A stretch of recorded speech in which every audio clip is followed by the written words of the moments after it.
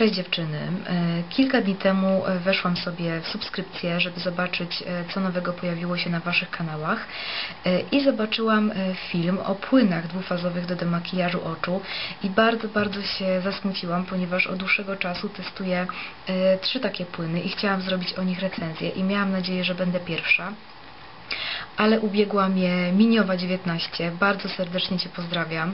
E, Link do jej kanału znajdziecie oczywiście pod tym filmem.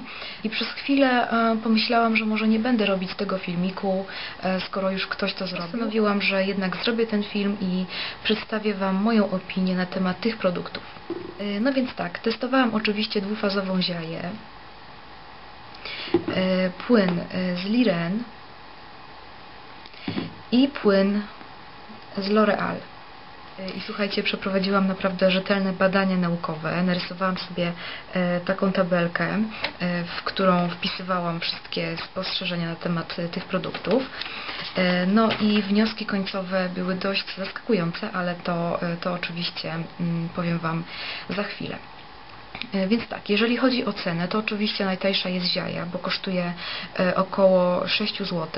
E, To też zależy od miejsca, w którym kup- kupujemy dany produkt, bo ona równie dobrze może kosztować e, 5,50 jak i 7 zł. Natomiast jest to oczywiście produkt najtańszy z tych, które testowałam. E, Później jest Liren, on kosztuje mm, 12 zł, około 12 zł. E, No i płyn z L'Oreala to już też zależy gdzie kupujemy. E, Ja go kupiłam akurat za chyba 16,35 e, w hipermarkecie Carrefour. Natomiast w Rossmanie chyba był za około 20 zł, a w Superfarmie za 23, więc to też zależy, gdzie kupujemy oczywiście. E, I tak, e, wszystkie te płyny są oczywiście e, płynami do demakijażu oczu, natomiast L'Oreal jest też płynem do demakijażu ust jednocześnie, ale ja akurat testuję te płyny pod kątem demakijażu oczu. Jeśli chodzi o opakowania, to najlepsze moim zdaniem opakowanie ma ponieważ ma korek i dzięki temu na pewno e, ten płyn nam, nam się po prostu nie wyleje w walizce, w torbie. E, To jest dość takie mocne zakręcenie. Natomiast e, opakowania, opakowania tych dwóch płynów, czyli Liren i L'Oreal są bardzo niewygodne. Nie dość, że Liren się troszkę niewygodnie otwiera, to po prostu aplikacja produktu na, na płatek kosmetyczny jest niewygodna, ponieważ płyn po prostu się leje po opakowaniu, e, jeśli nie przechylimy go, go porządnie, także no nie jest, e, nie jest to, to za wygodne. I to samo jest w przypadku L'Oreal. E, L'Oreal ma bardzo podobne opakowanie do Ziai, a może lepiej brzmiałoby stwierdzenie, że Ziaja ma podobne opakowanie do L'Oreal, e, ponieważ chyba taki był zamysł, żeby właśnie e, troszkę skopiować e, produkt Ro- L'Oreal, bo nie sądzę, żeby było odwrotnie. W każdym razie L'Oreal też ma taką właśnie mm, tutaj takie właśnie zamknięcie jak, jak Liren i nie jest to, nie jest to, nie jest to wygodne i też, też produkt leje się właśnie tutaj po opakowaniu, natomiast Ziaja ma bardzo sprytne rozwiązanie i to opakowanie zdecydowanie najbardziej mi się podoba, mimo że, e, mimo że ściera się e, troszkę, ale nie jest to żaden problem. E, W ogóle te płyny wyglądają podobnie. Mm, Mają nawet te same kolory. E, Jeśli chodzi o ziaję, to ziaja bardzo dobrze zmywa makijaż. E, Wodoodporny, niewodoodporny, e, linery, tusze, naprawdę wszystko. I, I zmywanie makijażu jest naprawdę bardzo dobra. Jeśli chodzi o L'Oreal, to jest w zasadzie taki sam jak ziaja, czyli też zmywa wszystko dokładnie. Natomiast płyn z Liren już jest troszkę gorszy. Prawdę mówiąc, nie radzi sobie nawet ze zwykłym makijażem. E, Właśnie zbywam e, makijaż e, oczu tak tym płynem i e, potem biorę prysznic i po prysznicu mam jeszcze tusz na, na dolnej powiece, który prawda dostał się tam e, z rzęs, także niedokładnie po prostu on zmywa e, tusz, e, nawet ten zwykły.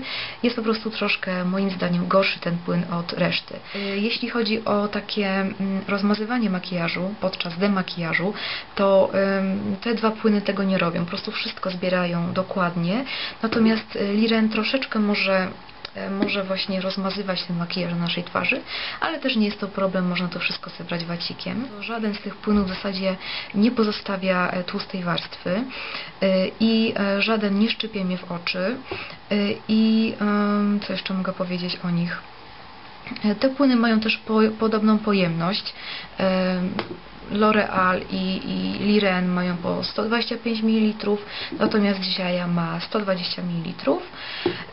I muszę popatrzeć w kartkę, bo nie wiem co jeszcze Wam mówić na temat tych płynów, bo mam po prostu pustka w głowie. Ok, już wiem. Jeśli chodzi o, o zapach, to Dwa płyny, czyli y, Ziaja i Liren deklarują, że że są bezzapachowe, natomiast ja wyczuwam lekki zapach y, w tych płynach. Y, Ziaja moim zdaniem ma taki lekko wodny zapach, natomiast Liren ma taki zapach taki lekko oleisty, taki lirenowaty. Produkty Liren mają taki specyficzny zapach moim zdaniem i i właśnie ten płyn ten też taki zapach ma, bardzo delikatny oczywiście. E, natomiast e, płyn z L'Oreala e, nie posiada na opakowaniu informacji, że jest to płyn bezzapachowy, natomiast dla mnie on już totalnie nie ma żadnego zapachu.